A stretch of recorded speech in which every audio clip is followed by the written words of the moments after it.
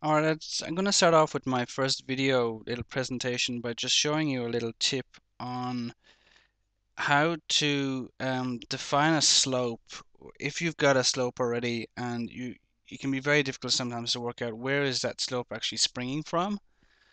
Um, and also sometimes it, we, what I'm going to show you you can use this reverse to actually uh, define a slope um, um, in order to solve a problem in geometry where you've in architecture or whatever you're doing. So um, I'm in a plan view in Revit and all what I've done is I've actually just drawn in a slab at, at the ground floor just to so this displays better. That's the only reason I've shown it so that you can understand what's happening a bit more.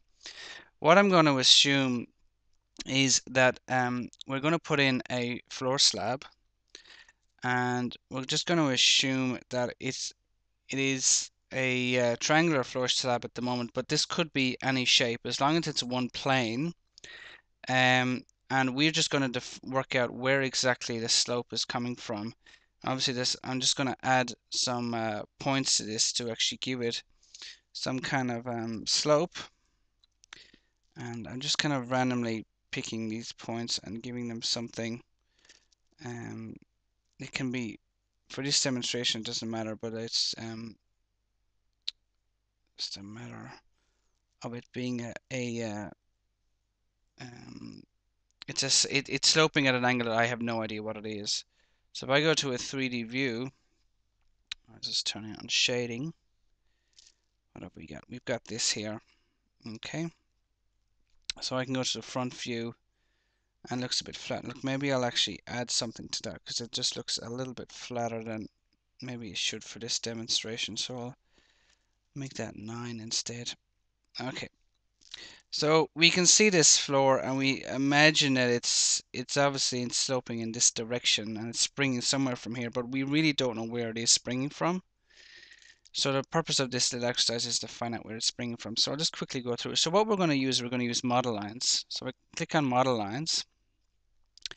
And if I use the pick tool, when I start drawing these, because the view is automatically set up for the ground plane, it actually is going to pop those model lines onto the ground plane. Even though I've picked uh, these upper points, you can see if I pick there, it's actually it's actually selecting the ground plane, and that's perfectly fine. That's actually part of our way of, of, of working out where this is sloping.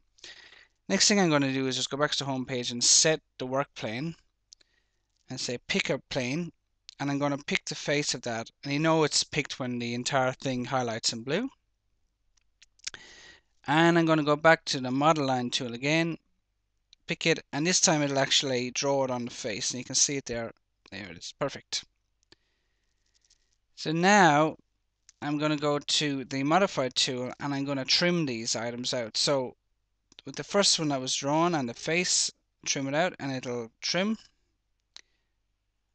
go around the shape and it'll trim them all perfectly. Now with this little exercise I'm doing I'm actually using the three sides of the shape but we actually don't need to do that. Two is significant but three is a way of definitely knowing that you're right. Um, so what we'll find is that um, I'll actually just set the work plane back to being on the ground for this last part is when I draw, I can draw a model line or a, a model line from there to this intersection here and it'll automatically go through this point here right? And that that actually has you definitely know that you've got it right if that is the case so if I go back to my ground floor here that's that new line that I've created okay and that line is the actual spring point of this, that shape there. Okay? And because that is the spring point and that's the angle of the spring point, if we draw a section perpendicular to that,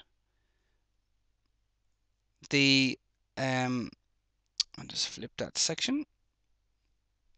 That floor the three points on that floor should appear as a line. So there's the three points and it's a line so that we actually know it's a true section. And if we go to the annotate tool and use our angle between there and there, that there is a true angle of the floor. And um, this is just a starting point for this uh, little application. I'll tell you a little bit more later on how you can use this in other ways, but it just hopefully should solve um, some items in regard to how to deal with planes that you really don't know where they're springing from or how to edit them so that you can get them springing in a point where you want to. Alright, hope that helps. Thanks, bye.